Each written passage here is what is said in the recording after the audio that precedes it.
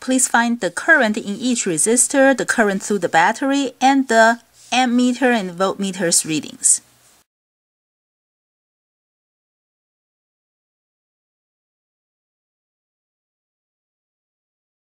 If the problem does not say, that means uh, the meters are ideal, which means they do not affect the circuit. So when we look at the circuit, we can ignore those meters. Just pretend that they're not there. That means in this circuit, 20 and 30, they are in parallel, and then together they are in series with the 8 ohms. Because they are in series, they have to share the 10 volts. So no, no single resistor in this circuit is getting all the 10 volts. That means it can be convenient for us to find the equivalent resistance first. For these two in parallel, the equivalent resistance is 1 over equivalent equals to 1 over 20 plus 1 over 30, which is 60 over here and uh, 3 plus 2, so this is 1 over 12. That means the equivalent resistance for this combination is 12 ohms. That means uh, this circuit, the equivalent is uh, 12 ohms. We use 12 ohms to replace this part, and then I have 8 ohms here and a 10 volt battery. That means these two now they are in series, so in the circuit the total current is uh, 10 volts divided by 12 and 8 in series. The current is half an amp. So the current through this part is uh, half an amp. That means uh, the 8 ohms gets half an amp. But this one is really these two in parallel. If they are in parallel, they would have to share the half an amp over here. But because they are in parallel, they have the same voltage. It can be convenient for us to look at the voltage over here. The voltage across the 12 ohms is I times R. That will be half an amp times 12 ohms, 6 volts. Since they are in parallel, that means they get the same voltage as the 12 ohms. So the voltage here is 6 volts, 6 volts. That means the current through the 20 ohms is the voltage divided by R, 6 divided by 20, and the current through the 30 ohms is 6 divided by 30. So that's 3 tenths and 1 fifth.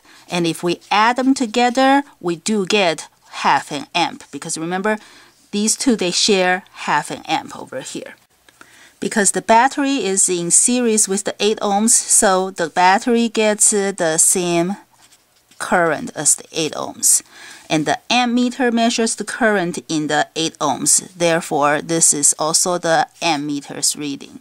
The voltmeter measures the voltage across the 20 ohms. So it gets uh, 6 volts. So the voltmeter is reading 6 volts. In this multi-loop circuit, please find the current that goes through this battery, the resistance over here, and the EMF of this battery.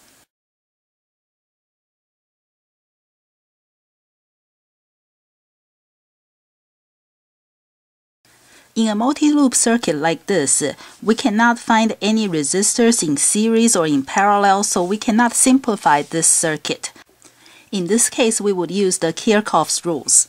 I'll start with the junction rule, and I'm going to use, uh, say, this junction. It doesn't matter which junction you use. For this junction, I have 2 amps going in, 8 amps going into the junction.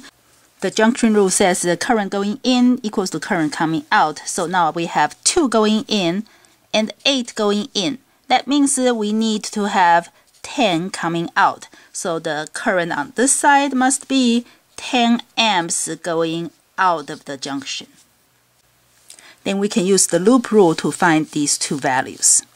Now I'm going to use the top loop to find the R. The and I'm going to start right here and go clockwise. I'm going to go across this uh, battery from positive to the negative terminal. The positive terminal always has higher potential, so when I go from positive to the negative terminal, the potential will go down, and it goes down by 64 volts. And then I'm following the current. If I'm following the current, the potential is going to go down, so the potential is going to go down I times R, because V equals to IR. The current is uh, 10 amps the 10 amps over here. So it's 10 times R. And then I go this way. I'm still following the current. So minus I times R, 8 times 3, I'm back to the starting point, so the potential change should be 0. And this will give me the resistance that is 4 ohms. Then I can look at the bottom loop. Again, I'm going to start right here and go clockwise. This time, when I go clockwise, I'm going against the current. If I go against the current, the potential would go up by I times R, 8 times 3. And then I go from positive to the negative terminal, the potential goes down by whatever EMF this battery has. And then following the current, the potential goes down by I times R. Back to the starting point, I get 0. So this will give me the EMF that is 20 volts.